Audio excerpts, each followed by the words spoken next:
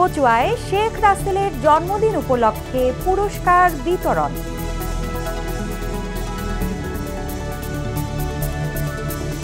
হাজার বছরের শ্রেষ্ঠ বাঙালি বঙ্গবন্ধু শেখ মুজিবুর রহমানের কনিষ্ঠ পুত্র ও প্রধানমন্ত্রী শেখ হাসিনার ছোট ভাই শেখ রাসেলের জন্মদিন উপলক্ষে চাঁদপুরের কচুয়ায় প্রতিবন্ধীদের মাঝে চেক এবং কুইজ প্রতিযোগিতায় বিজয়ীদের মধ্যে পুরস্কার বিতরণ করা হয়েছে।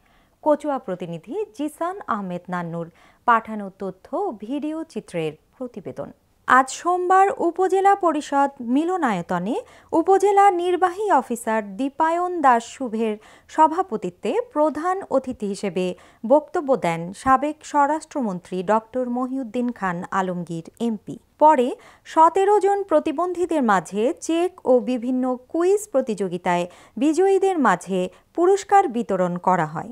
এ সময় উপস্থিত ছিলেন উপজেলা ভারপ্রাপ্ত chairman Sultana Khanam AC land Mahmuda Kulsummoni উপজেলা তথ্য অফিসার মোশাররফ হোসেন, কৃষি অফিসার সোফায়েল হোসেন সহ আরও অনেকে।